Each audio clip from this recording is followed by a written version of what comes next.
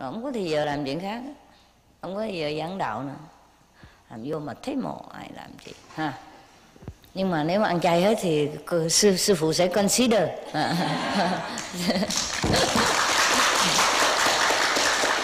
Nếu mà ăn chay hết thì sư phụ sẽ sẽ nghĩ lại, ha. Nhưng mà cái này nói chuyện nằm mơ chơi cho vui, ha. Hả? Ở gần biển nó móc cá lên. thấy ờ thấy cá thì tới thì lui rồi nó nhìn không được chứ.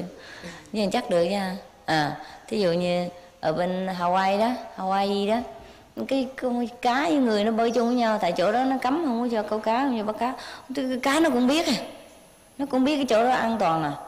Thường thường cá mà nó thấy người đi gần tới là nó động là nó chạy, phải không? Mà cá đó không có chạy. Người với cá bơi với nhau, một đàn vậy đó. Không ai không biết ai là người, ai là cá nữa. dòm tưởng đâu cá lớn cá nhỏ.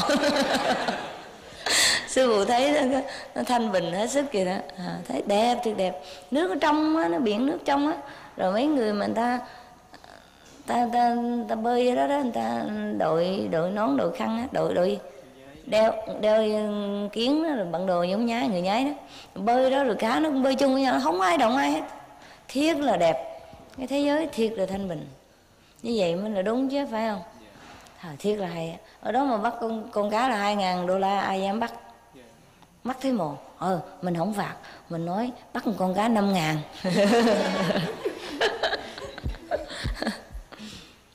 Nếu mà thế giới mà tất cả mọi nơi đều bảo vệ lẫn nhau như ở Hawaii ha con con con cá mà nó bơi chung với con người như vậy thì tốt biết bao nhiêu?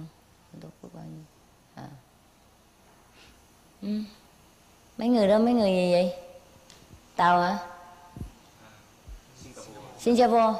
Singapore. English. No no Chinese. Ok ok. Ừ. yeah biết đâu chừng mình được ha. Biết đâu chừng có ha à, không chừng không không cần không, không mình không cần lấy nước Việt Nam làm vua làm gì. Nếu Việt Nam mà thanh bình mình trở về đó mình sống chung nhau cũng được vậy phải không? Ừ, cần gì phải làm vua anh chi? Thì mọi người phải ăn chay hết. Ai mà ăn chay thì phạt. Yeah, đâu bắt ta được đâu bắt ta được. Hả? Bắt ta ta, ta làm cách mạng sao? Hả? À, hả à, à không mình không mình không bắt ta mình giảng dạy chứ giảng dạy à.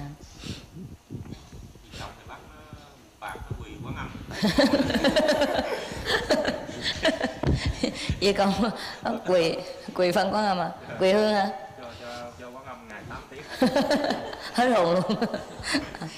Rửa nghiệp chướng à, à. à.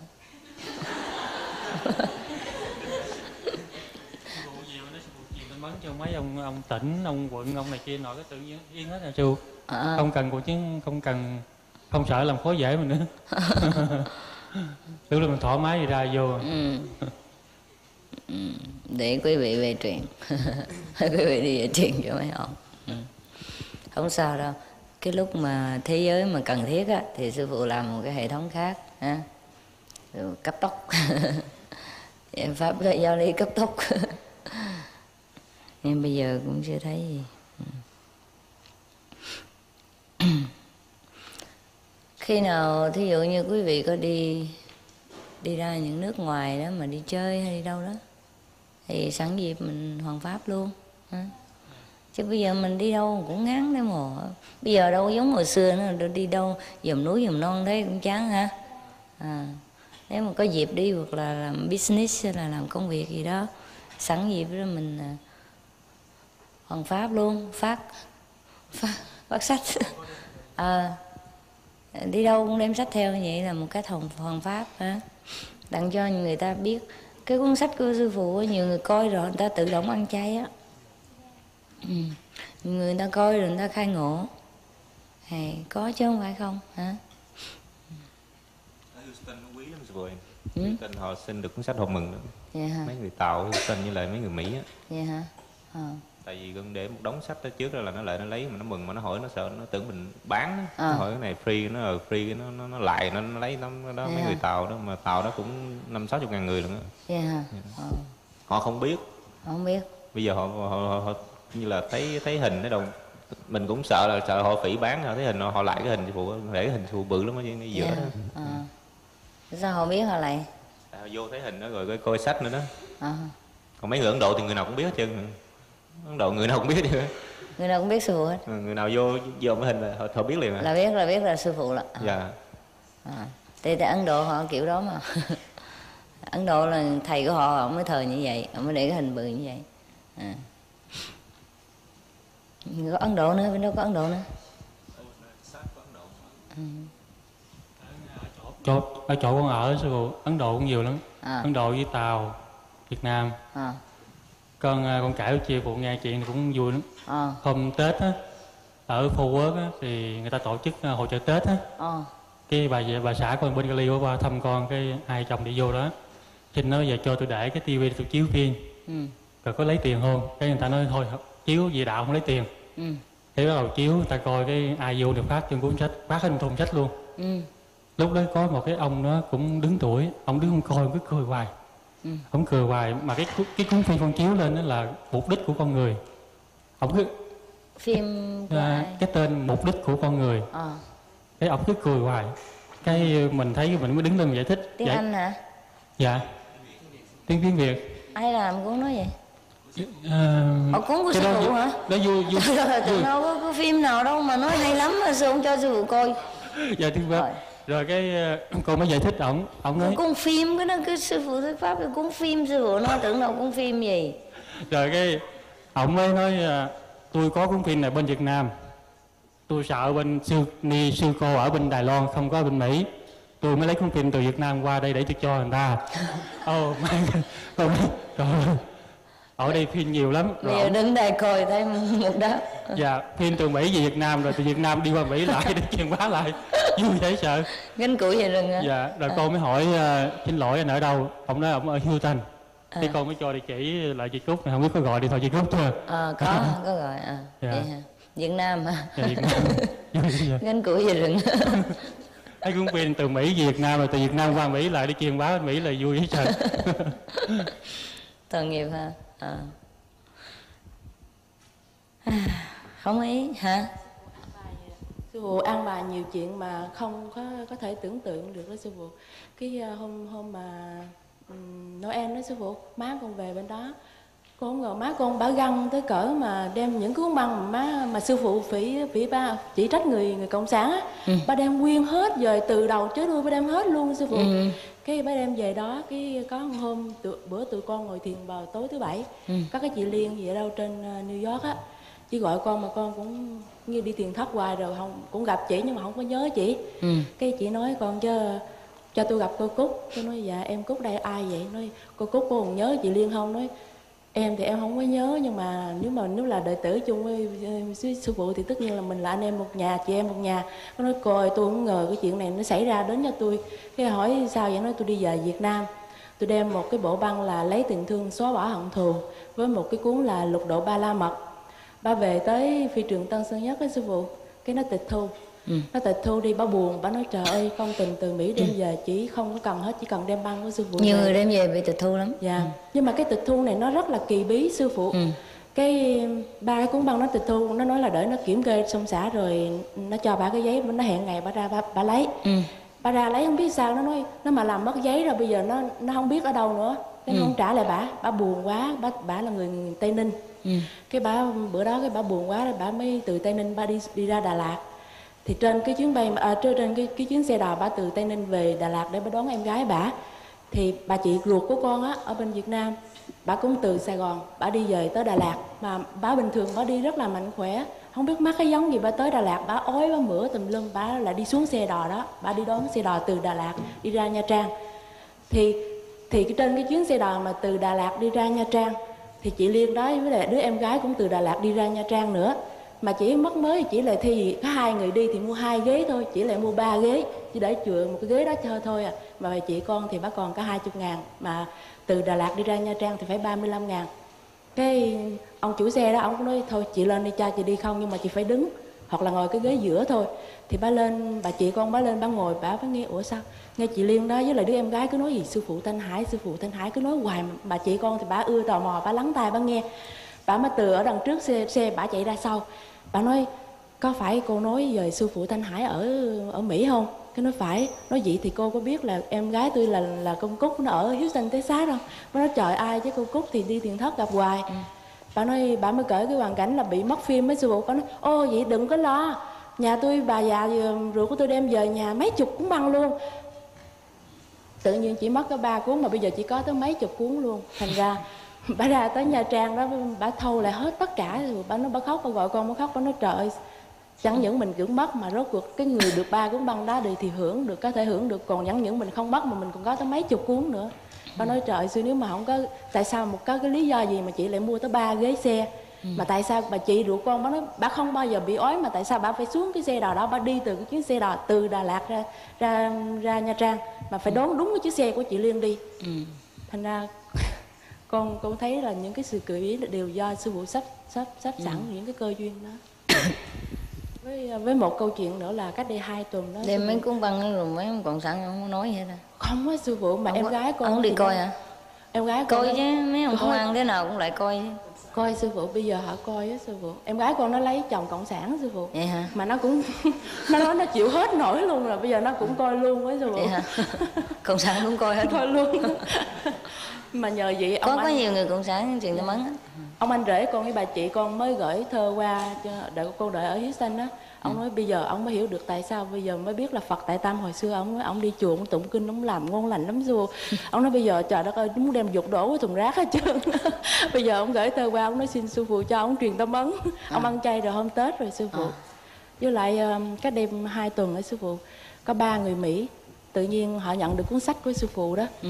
họ tới bằng đầu tiên thì hai người một người à, đàn bà họ nói uh, có một ông thầy cô thầy của bà là người ấn độ ừ. bà ăn chay 8 năm con hỏi mẹ ăn chay một trăm phần trăm không nó ăn chay một trăm phần trăm ừ. bà ngồi thiền nữa ừ. bà nói bà nhận được cuốn sách sư phụ bà không hiểu tại sao có một cái động lực nào làm cho bà ờ, bà cứ cảm tưởng như là phải đi tìm sư phụ thôi ừ. mà cái bà thì con không biết rõ về bà nhưng mà cái ông kia lại là ông cha nhà thờ sư phụ ừ. ông cũng nhận được cuốn sách hai người cùng tới luôn ừ.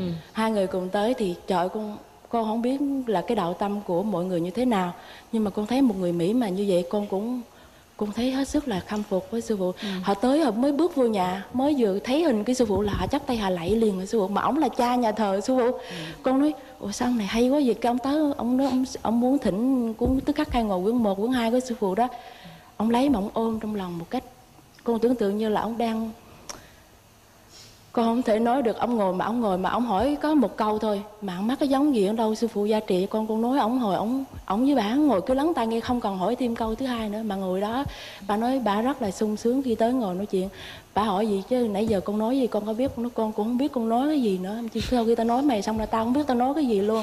Bà nói, bà hỏi con theo sư phụ lâu chưa? Con nói mới được có năm mấy bà nói, mày có năm mấy mà mày nói chuyện như vậy còn anh, còn ông xã con đứng bên á ông đi ra vô, ông sợ quá, ông biết con nói hay là ai nói. Nữa ông đi ra đi vô con nói, ông cái gì? Mà con cũng biết ông làm cái gì nữa, tới chừng ta về hỏi sao anh làm gì? Đứng anh quát tay hoài vậy.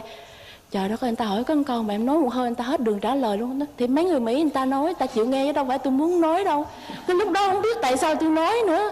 Cái con nói hồi, cái bà nói, bà xin, bà nói là bà một ngày nào đó sư phụ tới Houston á, thì bà sẽ đi gặp sư phụ. Và bà nói bà mong có một ngày bà muốn tới chỗ đó, bà xin bà ngồi vào cộng tu.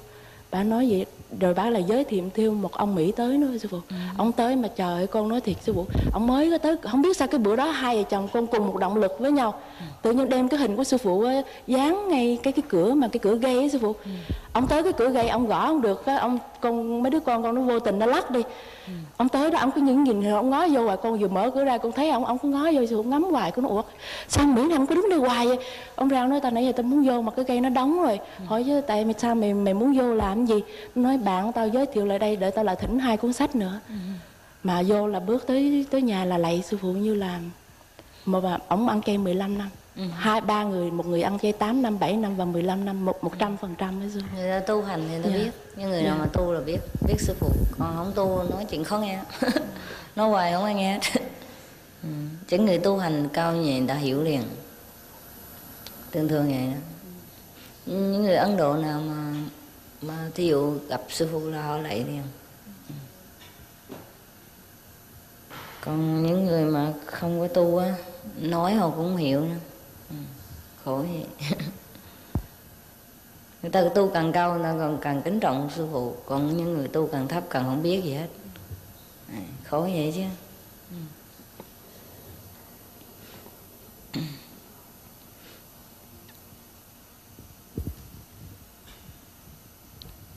Thì quý vị ở những nơi của mình ở đó thì cũng là sự an bài của trời Phật để mình hoàn pháp vậy đó.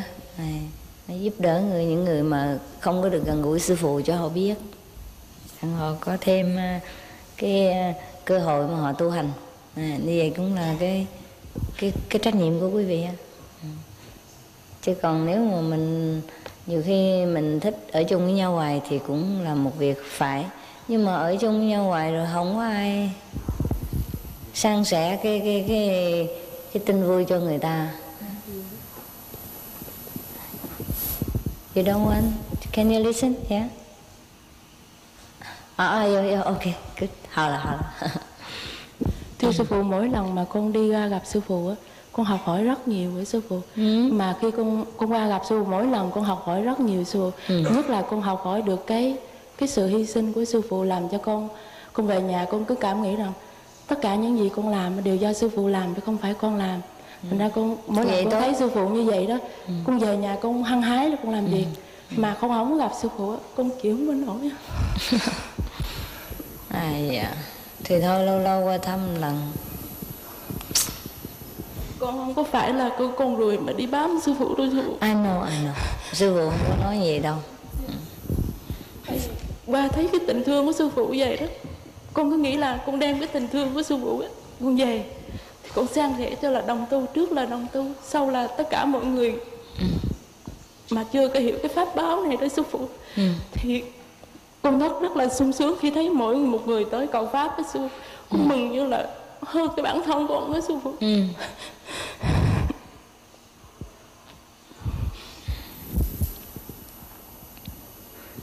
thì sư phụ cũng rất uh, hãnh diện có những người học trò như vậy sư phụ cũng vui vui mừng dùm cho người Việt Nam vui vui mừng dùm cho thế giới. À, nếu tất cả mọi người thì như vậy hết thì mình à, mình độ chúng sanh lẻ lắm. Tất cả những người nào chưa biết mình làm cho họ biết. À, người biết rồi mình làm cho họ biết thêm. À, để họ tinh tấn thêm. Vậy thì sư phụ đỡ nhiều lắm.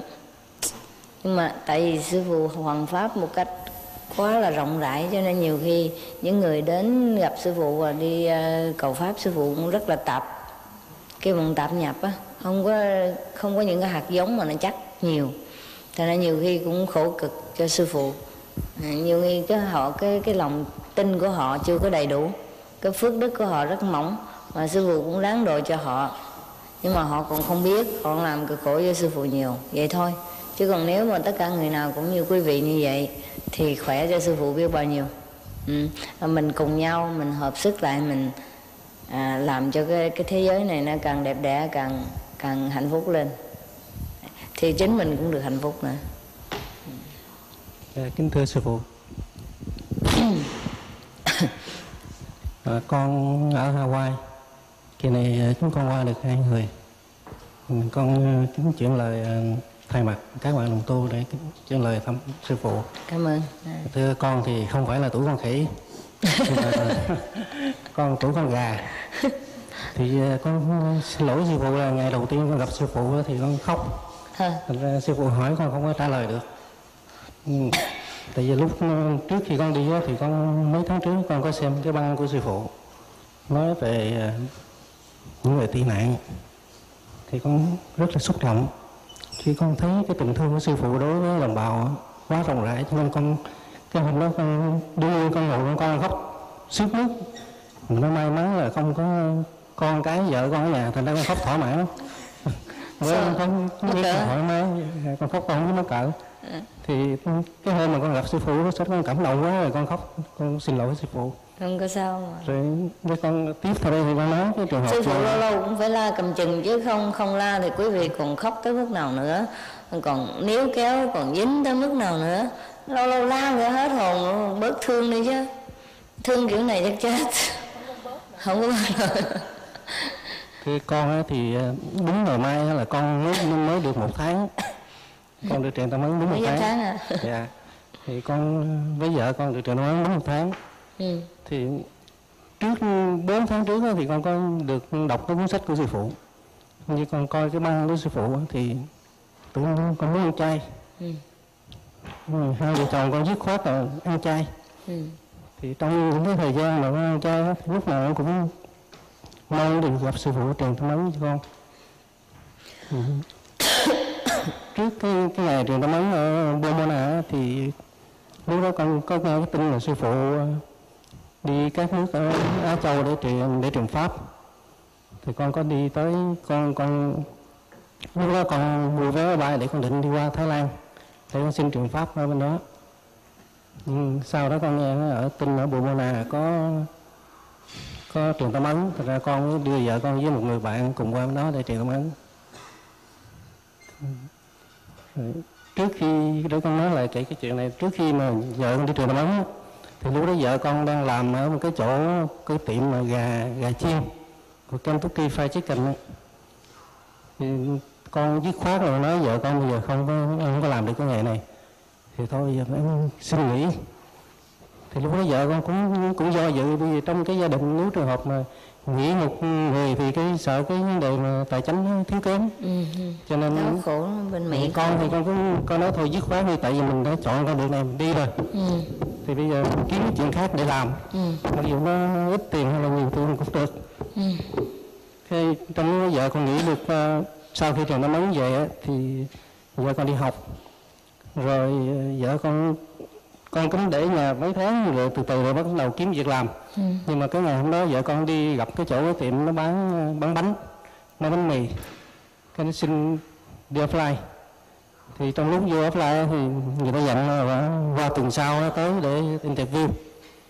Thì ngày đó là ngày con đi làm đó không có chở vợ con đi được. Vợ con ngồi trên xe bus á thì nó khấn sư phụ. Lúc nào cũng nguyện sư phụ cho tới chuyện vô trong đó thì ờ, ta phỏng vấn người đó người Nhật Bản, người phỏng vấn tiếng Anh. Vợ con thì mới qua cái khoảng chưa đến bảy, ba năm. Ở Việt Nam qua, thành ra cũng chưa có rành gì tiếng Anh hết. Nhưng mà khi phỏng vấn về, cái con gọi điện thoại về nhà, con hỏi, người ta có nhận chưa? Nói tôi nhận, em làm rồi. Đó là sư phụ dẫn em đi tập phiêu con cũng cảm ơn sư phụ đã giúp cho gia đình con có cái sự an bài trong công việc đó, để cho tụi con có thể tu học dễ chút ừ là quý vị thành tâm thì thì cái gì nó cũng xong suốt hết. Chứ mình nếu mình sợ mà sợ đói sợ lạnh thì nó hơi chướng ngại. Chứ còn quý vị đã nhất nhất nhất định thành tâm vậy thì thế nào cũng được. À, sợ mình không thành tâm đó chứ không có sợ phật bồ tát không giúp mình. À. con còn có một cái kẹt nữa là có hai đứa con con. Đó. Ừ. thì hiện giờ nó cũng chưa có ăn chay được sư phụ. Ừ. xin sư phụ gia trì cho nó ăn chay. dạy dỗ cho nó. Ừ để dụ cho nó nó ăn ăn mặn là nghiệp chướng nặng lắm chừng chết rồi nó lôi kéo yeah. Dạ. mệt lắm. Dạ, cảm ơn sư phụ. À. thật ra ăn chay ăn mặn đâu khác thì bao nhiêu mình bỏ vậy mấy cục thịt mình bỏ đi mình bỏ thêm vài ba cục tàu hũ vô gì đâu đâu khác gì đâu. Chút chút đi. Thay vì thay vì bỏ vài cục thịt vô miếng phở vô cái tô phở thì bỏ mấy cục tàu hũ mấy cục mì căng vô chứ gì đâu. À, khác chút gì đó đâu gì đâu phải không? Nấu chay thì cũng giống như nó mặn vậy thôi mà thay vì mình bỏ thịt vô thì mình bỏ đậu hũ với bỏ mì căng vô mình xào mình chiên. Hồi trước thì mình bỏ thịt vô thôi bây giờ mình thay thịt mình bỏ ra bỏ mì căng vô chứ gì đâu. À, hay là bỏ những cái thứ mà có chất đạm khác vô chứ gì đâu. Y dễ ực mà sao ai nói không biết nấu chay thì sư phụ cũng thấy cũng kỳ. Ừ. hồi trước nó mặn sao bây giờ nấu chay vậy đều nó thay thế cái, cái chất đạm nó khác thôi à, sư phụ thấy người Việt Nam đa số tu hành cũng thành tâm lắm. Sư phụ cũng mừng. Lâu lâu gặp nhau một bữa thì cũng hay chứ hả? Cổ cổ cổ cổ động cái, cái lòng tin của mình ha. À, những người tin ít thì tin thêm người tin rồi thì tin nữa. Con con có một câu chuyện này con muốn kể sư phụ nghe với lại con cũng muốn củng cố đồng tu một câu chuyện là trước khi mà mình truyền tâm ấn học có thể nói là trước khi mình sanh ra đời trời Phật đã an bài mỗi một người một cái vị trí. Ừ. đối với cá nhân con con rất là bất tài sư phụ. Mà trước khi gặp sư phụ là trước đó gần 4 năm tự nhiên con học cái nghề neo mà con không biết làm con đi tới đâu người ta cũng gạt con ra. Con buồn mà tại cái tánh con hồi nhỏ lớn vợ con cũng không hiểu tại sao con làm cái chốt này được con không có thích đám đông mà con cũng thích bạn bè nó cũng thích sống cho gia đình thôi mà cái lúc đó đó con học cái nghề neo đi tới đâu người ta cũng tìm cách hất con ra. Ừ. cái bữa đó không biết gì con khóc như trời dông lúc mà ông xã con đi làm mấy đứa con đi học con khóc quá trời quá đất sư phụ con nói cho con làm cái nghề này mà không cho con giỏi làm sao con biết đâu kiếm tiền đâu mà nuôi gia đình. Cái tự nhiên con mê đi sư phụ. Con mê đi con thấy có một người đàn bà tới uh, biểu đưa đưa biểu làm móng tay dùm cho bà. Cái con nói ủa sao cái bà này kỳ vậy? Mình làm cho bà mà bà ngồi bà cứ chỉ mình tùm lum á biểu bỏ làm sao làm sao làm sao? Thì sau khi bà chỉ xong thì con thực hành liền được sư phụ. Ừ. mà trong vòng 3 ngày sau tự nhiên con đi tìm một cái chỗ mà cái chỗ nó xin lỗi nếu mà ai muốn làm chắc người ta cũng chạy luôn sư phụ. Vậy mà con lại đi vô con mướn con làm. Rồi con rất là thành công. Thì con bây giờ thật tới lúc đó rồi sau này sau khi thành công rồi con gặp người ta cho con mượn băng với sư phụ thì con mới biết rằng từng bước từng bước sư phụ dẫn con và cho con có một cái số vốn để đi học cái cái, cái đường đạo này. Và từ đó con mới biết rằng tất cả những cái gì của con có chính là sư phụ cho con có để mà đi tìm về cái cái con nguồn cội của con. Cho nên con muốn nói cho tất cả mọi người biết rằng tất cả những gì của mình có chính là trời Phật an bài cho mình đi gặp sư phụ. Nếu mà mình hiểu được cái điều đó như vậy đó thì cuộc đời mình rất là an lạc. Còn hai năm nay con theo sư phụ con tu học con không có những cái thể nghiệm giống như người ta nhưng mà con được có một cái tấm lòng rất là an lạc sư phụ. Con không có sợ phong ba mà con con không biết gì tới cái chuyện ngày mai nó con chỉ biết hôm nay là hôm nay. Đó nhưng nó xảy dạ. Nhưng nó xảy ra con cứ những lúc con nói chứ trời ơi cái tâm của con nó đâu mất tiêu rồi. Con nói ước gì con sàng được con con nó mất nó ra làm sao? Hồi xưa thì con rất là lo sợ sư phụ. Bất cứ một chuyện gì mà con cũng đều lo sợ. Mà bây giờ nó chạy đâu mất rồi sư phụ. Con kêu bằng biết, hiện dạ. đời giải thoát này dạ. Con chỉ biết là hơi đủ tiền vé với đây là con đi kiếm sư phụ rồi con không biết không con cần biết ngày mai nó ra sao nhưng mà mỗi một lần thoát. Ừ. dạ. Mỗi một lần sư phụ đi gặp sư phụ là con là học theo nhiều bài học từ các vị đồng tu và từ nơi sư phụ tại vì nhờ họ con mới vững tâm, con tu hành và nhờ họ con mới biết được và những cái gì mà sư phụ dạy con đó, thì con về con đem lại, nói lại cho đồng tu và củng cố với nhau để mà tu học. Thành ra con rất cảm ơn sư phụ cho con nửa lời còn lại được tu hành. Mà không còn biết lo sợ nữa. Cảm ơn sư phụ. Ừ.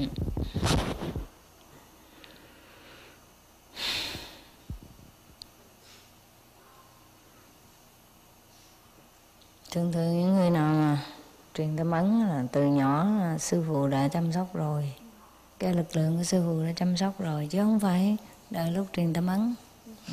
Thành ra có nhiều người chưa có gặp sư phụ và mà đã thấy được cái hóa thân sư phụ rồi, mười mấy năm trước hoặc là hai chục năm trước cũng có. Thấy những cái nơi mà sư phụ chưa đi qua bao giờ nữa. Này chứ phải chỉ nói sư phụ đi qua rồi để có thể để lại cái hình ảnh hay là cái gì đó. Cái âm vang gì đó không có. Lúc đó mà mà cái lúc mà họ thấy là cái lúc sư phụ chưa có thành đạo nữa cái mà nói về cái cái cái thế gian này thì sư phụ chưa có có học quan phép quan âm nữa. À, chưa có chưa có biết gì cả nữa.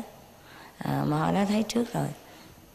Cho những người nào mà đã những vị người nào mà có cái mệnh là minh sư đó là ta đã có sẵn rồi chứ không phải không phải tự tự đặt ra mà được, hoặc là tự mình muốn mà nó thành.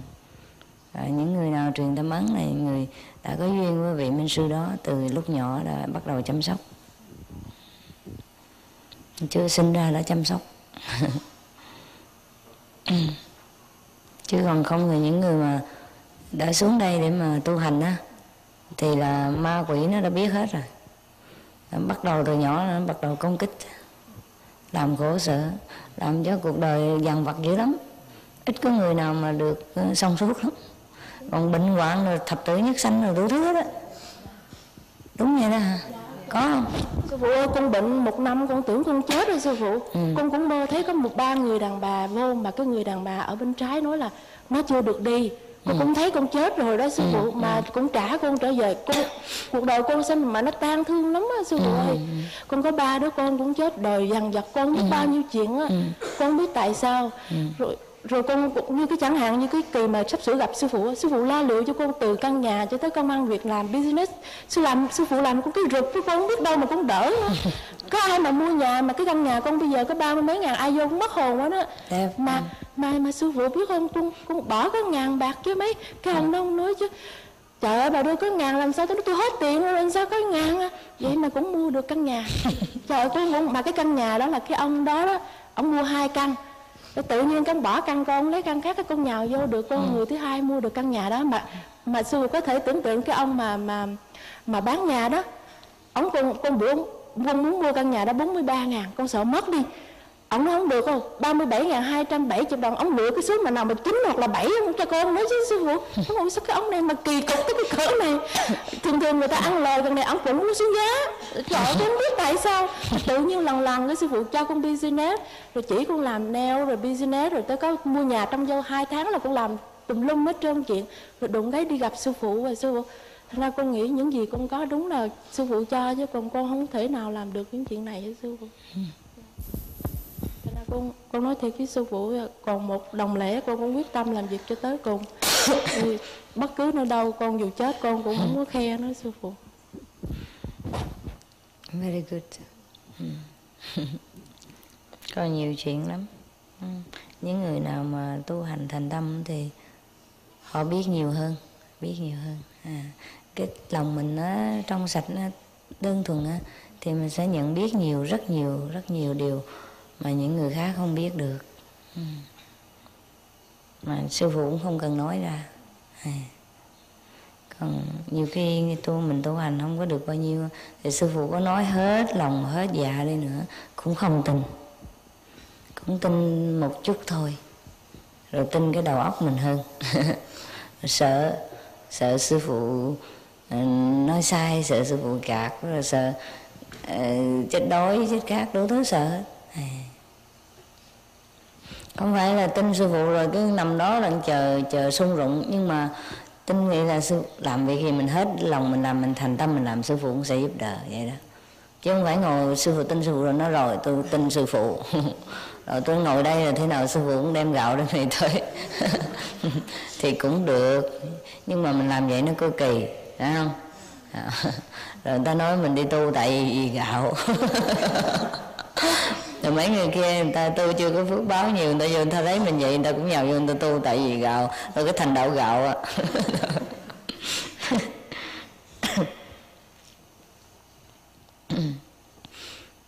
Vậy là người Việt Nam, những người Việt Nam như vậy, tức là những người xuống đây tu hành để mà giúp đỡ thế giới, ha? À, tu hành vậy mới đúng là phát tâm Bồ Tát chưa à. thôi thì quý vị ráng dằn lòng thương nhớ để mà giúp đỡ cái thế giới này chứ nếu mình à, ở đây mà ôm nhau ngủ một đống đây, mấy chục người đây thì thế giới bên ngoài kia họ đâu có biết được những cái niềm vui này. Những người họ không có biết được cái tin vui. Đâu có ai san sẻ cho họ đâu phải không?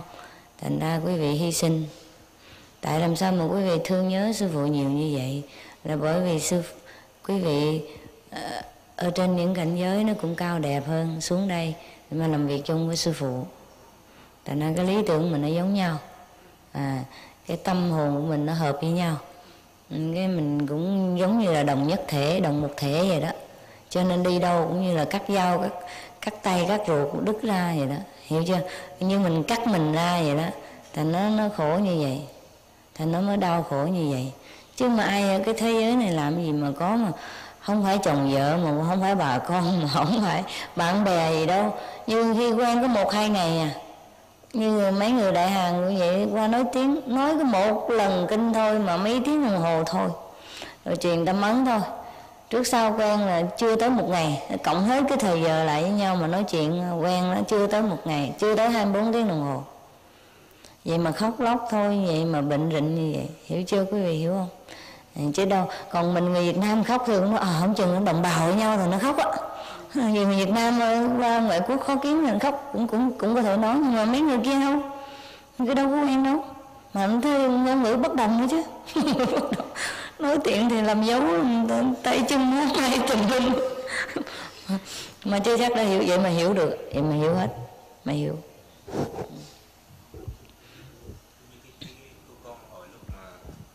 Lúc mà con chở sư phụ ra phi trường ở Texas ấy. Ừ. con có kể sư phụ nghe mà con hồi một lúc 11 tuổi con nằm chim bao con thấy ờ, cũng như hình hồi lúc đó con biết là Phật bà nhưng mà con sáng là con nói má con hỏi má con lại má nói con nói là Phật bà đó. Thì ừ. con diễn tả gì mà dạy con tiếng Pháp với dạy con học nữa đó. Ừ. thì khi mà tới khoảng chừng hồi kỳ không biết thì, thì tiền tao thì phải cái lúc mà con tìm ra cái hình mà của sư phụ cái hình gì đó. Ừ. Bận đồ con âm hả? Dạ. đó đó là cái hình này con thấy trong chim bao. À, 11 tuổi hả thật ra sư phụ cũng phải bận mấy cái đồ đó đặng quý vị nhớ chứ. Bận này coi coi thường tao quá. Mà, mà trong chim bao khóc nữa khóc nữa. Forbidden. Không có được khóc hoài. Khóc hơi hơi nước mắt để dành mai mốt tưới cây sao mà kêu sư phụ sư phụ mình, mình trong dâm bao á con thấy nhiều khi sư phụ uh, giả những cái hình khác nhau mà cái linh hồn con lúc nào cũng biết đó là sư phụ á ừ. mà nhiều khi con con biết đó là sư phụ mà con thấy con khóc nức nở mà lúc ừ. con tỉnh vậy con thấy con có nước mắt không biết tại sao mà con khóc con thấy con khóc con khóc ngon lắm á à, khóc ở trong trong chim bao nó khác à. yeah. Dạ. Ừ. trong khóc ở trong cảnh giới kia đó cảnh giới cao cái linh hồn mình nó khóc cái đâu phải nước mắt đâu phải cái xác mình nó khóc đâu mà có nước mắt yeah. Dạ. nhưng mà sao con thấy sư phụ cái giả hình dáng nào mà không phải hình dáng gì mà con con cũng biết, biết là sư phụ à. con không biết là sư phụ á uh-huh. mà con thấy con thấy là con chạy lên liền à yeah. hôm qua cái cô kia đó đi mất rồi hả có áo tím gì hôm qua đó